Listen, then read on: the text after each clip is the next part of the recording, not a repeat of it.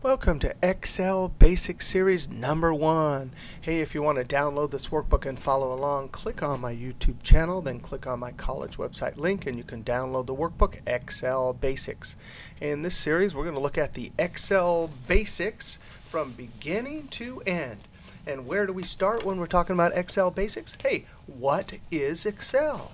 Excel basically does two things calculations and data analysis. Now, we see here we have a payroll table, gross pay, deductions, total deductions, and net pay. So we're doing some calculations. Now, we've typed some percentages here.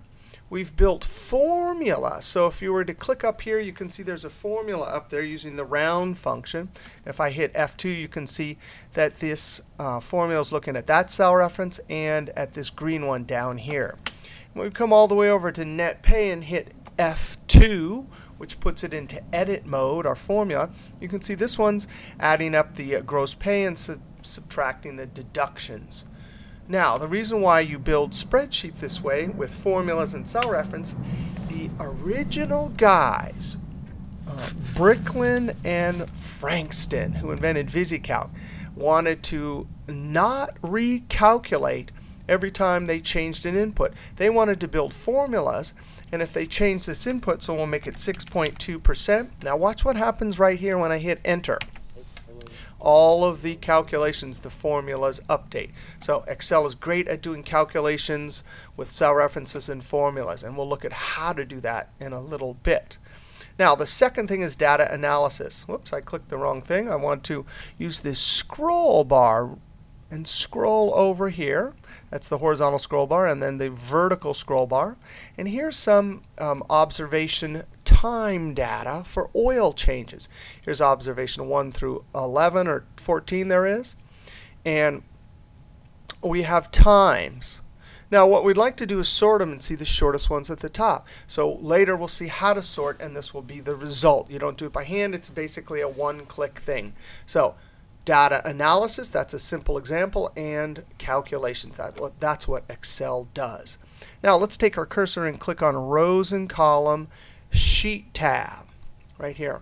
And we want to talk about more basics. Hey, what's this right here? That's the letter B that represents the column B. If I click right here with my cursor, I click on this row header 5 with that little arrow pointing horizontally.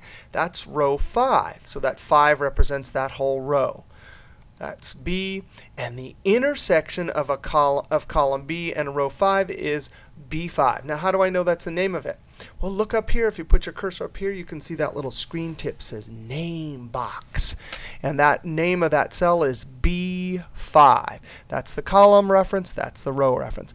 Now, that seems basic, but later when we study cell references, it's very important to know that there's only two directions, up and down, left to right. Up and down is B, left to right is 5. Columns B, rows 5. Now, that's a cell, right? How about this? This is a range of cells from D9 to F9. And what about this? What if we click in between the A and the 1? That's the Select All button. It selects all 17 billion cells in Excel 2007 and 16 million cells in 2003. Now, all of the cells which uh, all have individual names like B1, C1, etc. They make up uh, the worksheet. So all the cells of the worksheet.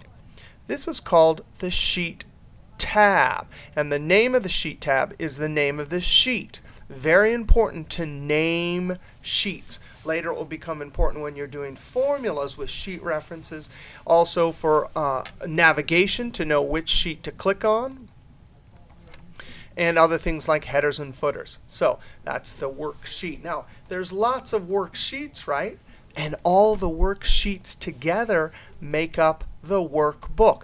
Now up here, this is the workbook name, Excel Basics. Very important to name these smartly, just like it's important to name uh, your sheet tabs. Always name things logically so you can find them later. So uh, when we use these things in formulas or headers and footers, they're easy to understand. Now, let's talk about the workbook. That's the workbook. This is excelbasics.xls. Now I'm going to hit the F12 key, which is Save As. And we're going to talk about file extensions. The first part of Save As is where do you want to save it, right? There's a folder. The second part down here is file name. What do you want to call it? you got to give it a good name. And then finally, save as type. Now I'm going to click this drop down. May have to scoot this up so you can see. Oops, that's the file name. One, two, three. Save as type right there. And we want to talk about these different extensions. This is I'm using Excel 2007, so there's a new extension .xlsx. Now XLSX and XLSM are actually XML files. They are uh, save a lot of space and are understood by more programs. The standard extension we've been using for years is .xls. Now, XLSX does not allow you to write macros or code, which is something you do with advanced Excel. And if you're going to write code, you have to use XLSM. XLSB is a file format, a new one, and it saves the most space of all of these.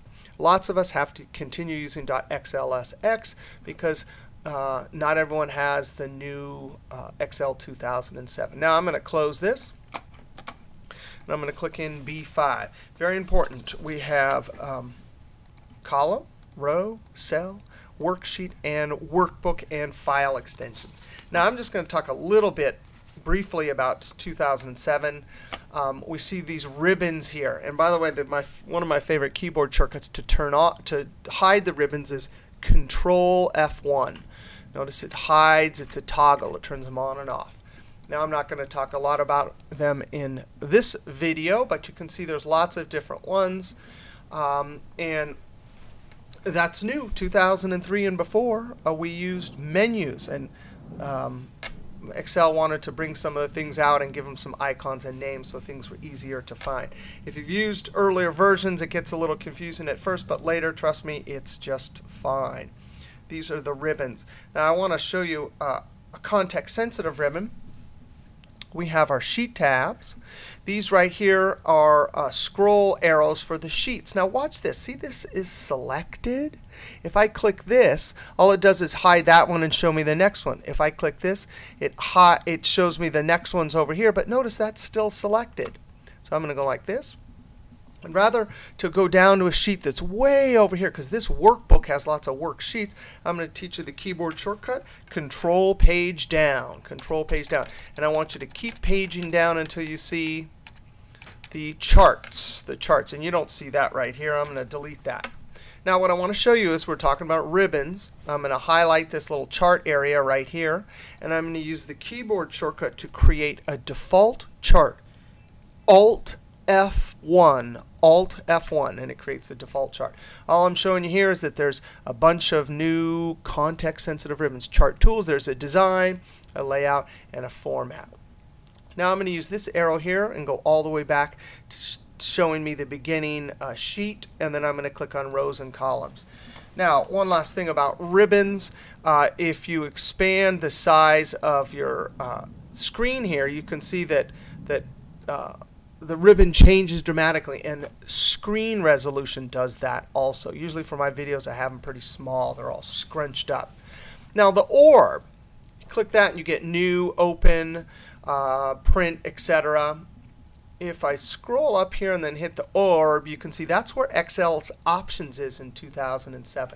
Now for this video, these video series, I'll always tell you how to do, like when we do sorting, I'll show you how, I'll tell you how to do it in 2003 and 2007 uh, I want to talk about the uh, QAT, the Quick Access Toolbar right here. This is in 2007.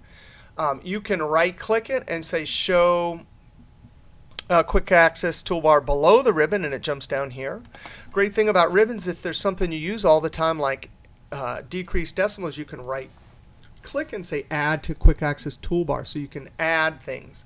Not only that, but you can go right-click, Customize, very important, you come over here. There's customize. You come over here and choose all. And there it is, all 1,000 plus uh, features in Excel. Now, the nice thing about this is if you knew where something was in earlier versions, you can point to any one of these and it will tell you. This uh, uh, is in the Home tab, Styles, uh, etc. So you can find things Now I'm going to go down to the S's to speak, and I'm going to point to this speak cells, and it says command not in ribbon.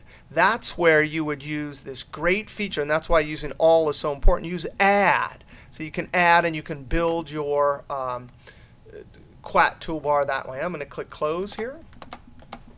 And uh, that's it for this video. Um, if you want to download these videos, you go to the uh, YouTube, my YouTube Excel site, click on that link right there, and there are all of the links. And if you want to see the full uh, book that you can download for this series for free, there it is. All right, see you next video.